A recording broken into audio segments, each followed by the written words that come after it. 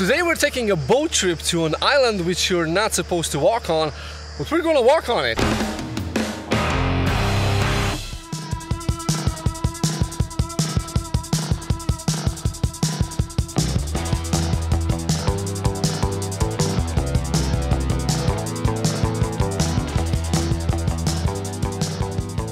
Okay, so we're on the boat and we're headed towards Chrissi Island, which is under Natura 2000, which means that it's not supposed to be inhabited. So we're actually not allowed to go on the island, but we are going to kind of jump off the boat, swim and get some fun R&R. Hopefully, if there's not a lot of wind, I'm gonna do some drone flying around here.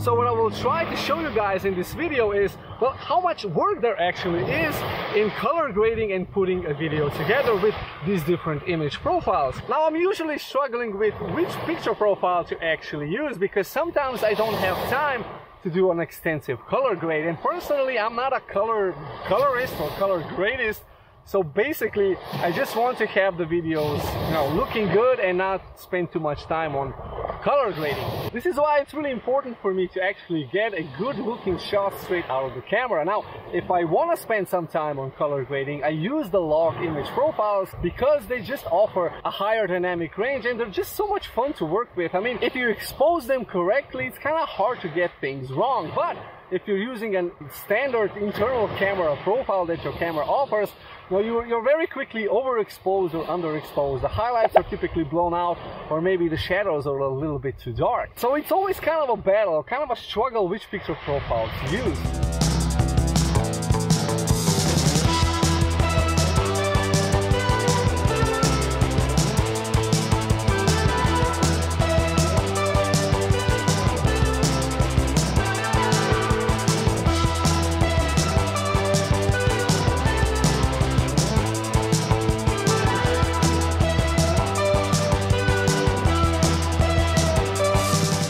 Throughout this video, I was testing out different image profiles for the camera. Now we need to go back to the editing room and see which one works the best and how much work you have to put in for each individual image profile.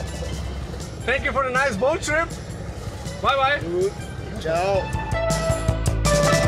Okay, I'll be showing you how you can color grade four different picture profiles in DaVinci Resolve. Now, you can do pretty much the similar thing in Final Cut or Premiere Pro. I'm using DaVinci Resolve because first of all, it's free, and second of all, it's a really powerful color grading tool. Now, the four video clips that I have here are all of the same scene, but they are different picture profiles. Now, I'm using a Sony camera, which means that I have specific S-Log gamma curve image profiles. If you're using a Canon, you have C-Log gamma curves, and if you're using a uh, Panasonic, you have V-Log and F-Log for Fuji and so on. So the first clip is basically just a standard straight out of the camera look. I was actually using the Cine 2 picture profile for this one, but it's kind of a standard, you know, ready to use straight out of the camera shot.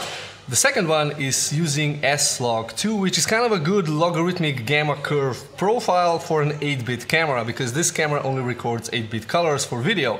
So this is S-Log2, which you can see it's quite flat and quite desaturated. Now the third one is actually S-Log3. This one is very aggressive and is really meant to be used with 8-bit recordings. Personally, I don't even know why this is on a Sony Alpha 7 III, which only records 8-bit colors, but I mean, we have it here and sometimes you can make it work really well. The problem is that 8 bits is just not enough colors for such an aggressive stretching apart and contrast adding and saturation adding. And finally I have the hybrid log gamma or HLG, actually HLG3 and the color space for this one was BT2020. For S-Log3 the color space was S gamma 3 Cine, for S-Log2 was just S gamma and for this one it, I think it's just Rec 709. So let's go into the color grade and I'll show you how you can actually color grade this in a very simple way. So the first one is the straight out of the camera look. Now here there's actually not much to do. I can maybe just offset it a little bit lower to bring it a little bit darker, maybe play a little bit with the highlights and with the shadows and this is pretty much ready to use straight out of the camera so typically you don't need to color grade this or you just need to maybe adjust the highlights and the shadows a little bit so that's all that it takes for a straight out of the camera look the second clip is S-Log 2. Now this is where it gets a little bit trickier because first we need to transform the color space and the gamma curve, the brightness or the contrast curve from this logarithmic state into a linear state. So here I will use under the effects, I already have um, under the favorites uh, my color space transform. You can find this by just searching the color and here we have color space transform. So I'm gonna drop this right in as the first node. Now DaVinci Resolve works with nodes. It's very similar to Premiere Pro which uses layers only here we have one node after the other and in Premiere Pro we have one layer on top of the other. So it's kind of the same thing. So this would be my transform, but I need to set the correct parameter. So my input color space needs to be the one that I was using S-Gamut and my input gamma curve is S-Log2. For the export, I'm going to use just a standard Rec 709, which is kind of the same as sRGB. And here you can see now the video clip being corrected. So this was the before and this was the after. Now, of course, you can always tweak this, but the important thing to know with these types of edits is that if you want to tweak the shadows and the highlights, you should always do this before the color space transform. So everything that you mess up with your exposure should be corrected before the color space. So let's do this right now. So Shift S to bring another node before this one. And now I can play with the highlights a little bit. Tone down the highlights, maybe lift up the shadows, and this maybe add in a little bit of a contrast. Now everything that you're going to apply as a look, as a style, I typically apply this after the color space. So if I Alt S another node, so here is where I would um, maybe lift up the shadows a little bit, give it that kind of more cinematic, flat shadowed look, something like this. And then afterwards, very necessary, you should always add a little bit of sharpness, like I'm doing right here.